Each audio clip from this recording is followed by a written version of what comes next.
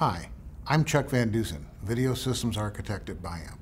In this video, I'll explain a few reasons why it's difficult for some algorithms to render spreadsheets and other synthetic images well. Synthetic images have hard edge transitions representing high spatial frequency components. Edge-based distortions are more noticeable in the structure of a graphic image. Text and numerals have fine line details as narrow as a single pixel. Because we implement Motion JPEG in a visually lossless, low compression ratio manner, its performance is very appropriate for both natural and synthetic images. Thanks for watching, and be sure to subscribe to our YouTube channel for more insights, tutorials, and answers to frequently asked questions.